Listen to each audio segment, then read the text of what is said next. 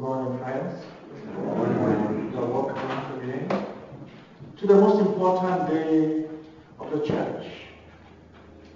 A lot of people were born who claim to be all sorts of people. But when they died, they died.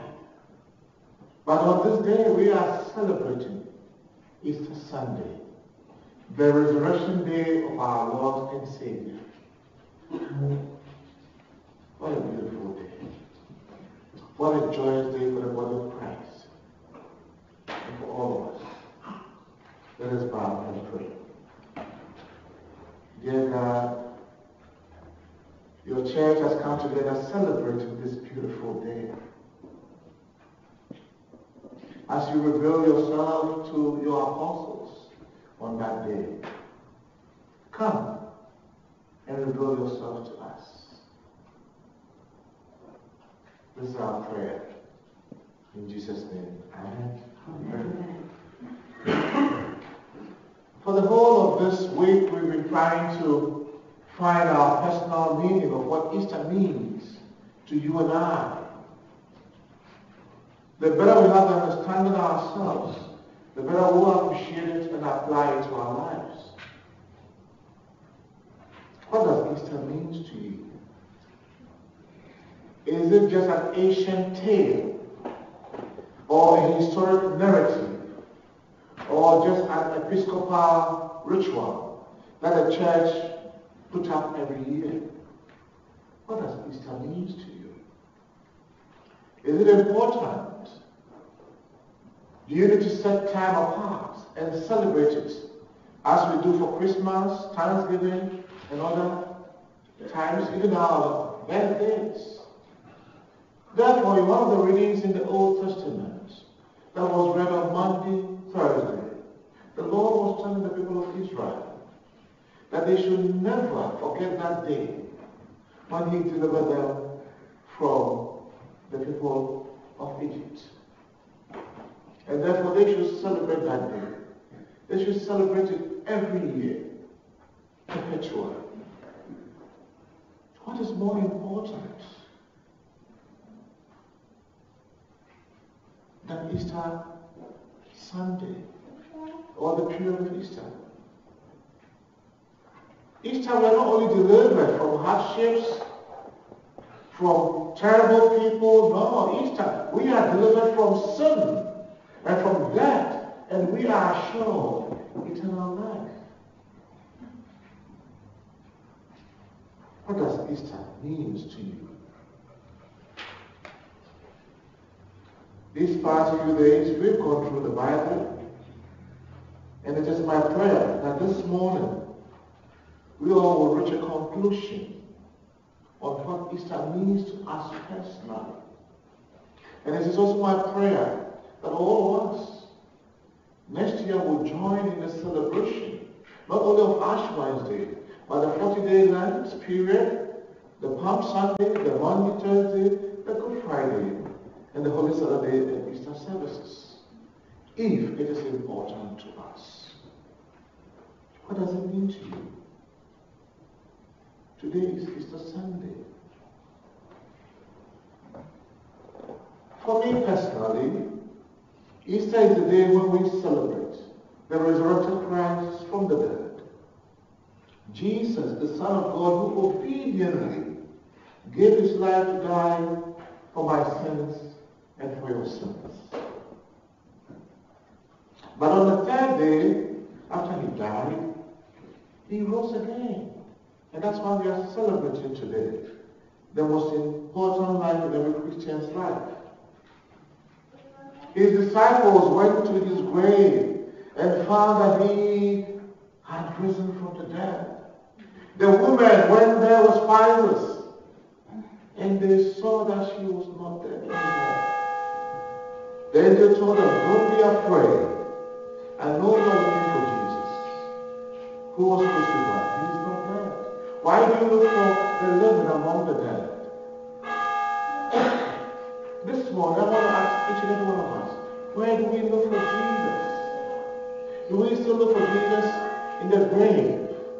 Or we look for him as the resurrected King at the right hand of God. In fulfillment of scriptures, Jesus rose from the dead on Easter Sunday.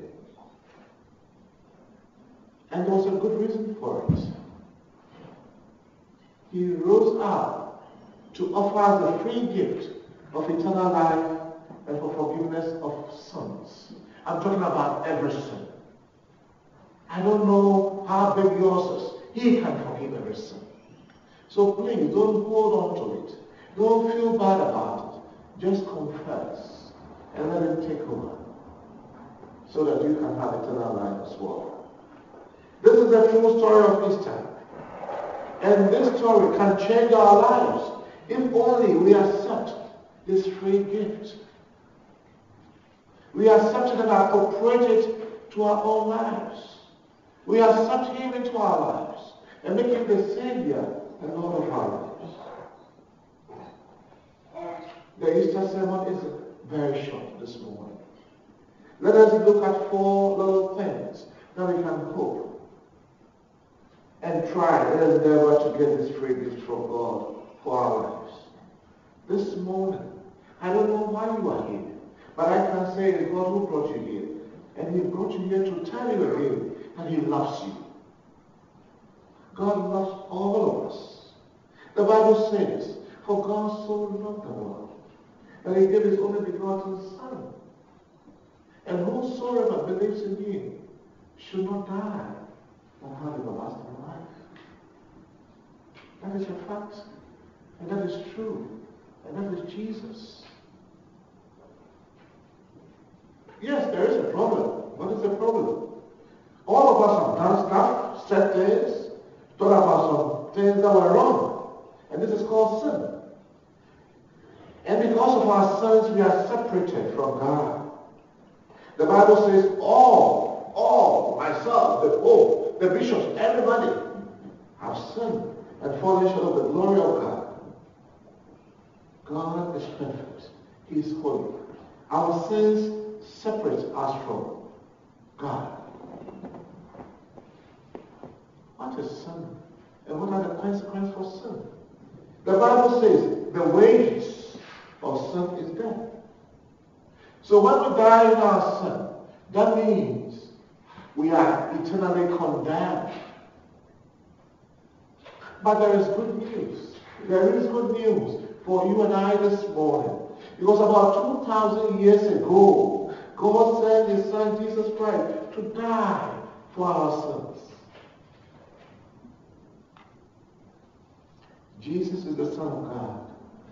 He lived a, a sinless life and died on the cross to pay for the penalties of our sins. God demonstrated his own love for us in that what, while we were yet sinners, Christ died for us. Don't allow that sin to overshadow your beautiful future. God loves you. He loves you enough to die for you. What else can he not do for you? Just confess those sins, and it shall be well with you. Jesus rose from the dead, and now he lives in heaven with God his Father. He offers us the gift of eternal life, of living forever with him in heaven, if only we accept him as our Lord and Savior.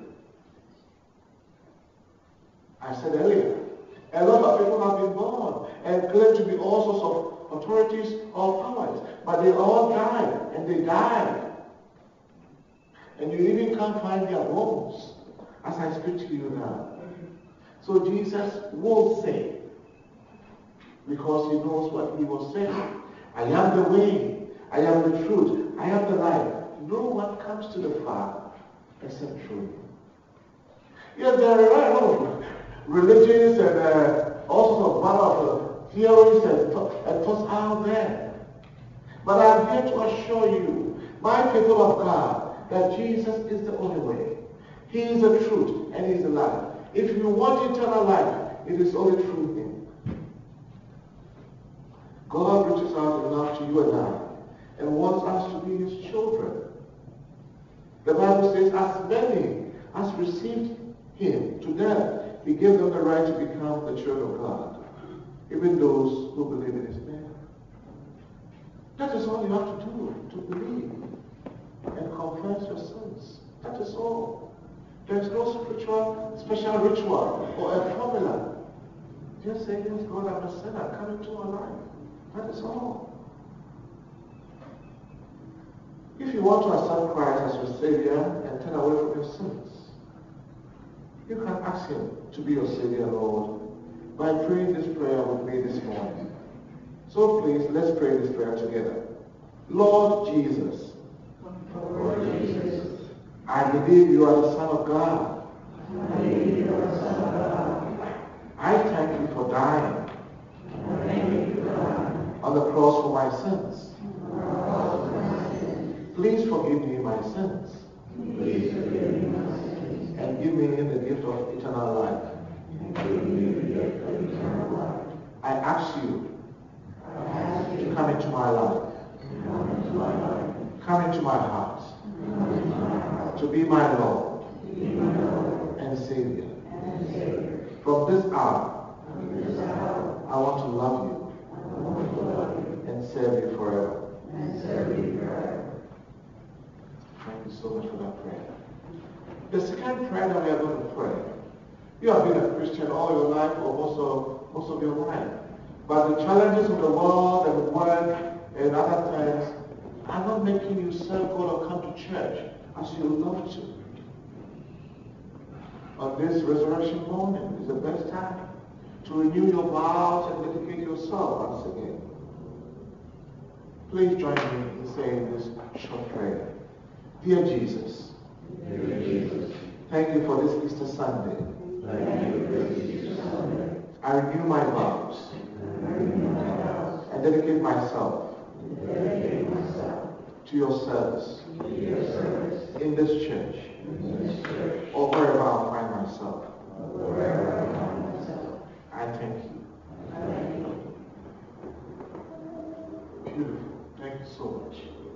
Thank you for coming, and God bless you all.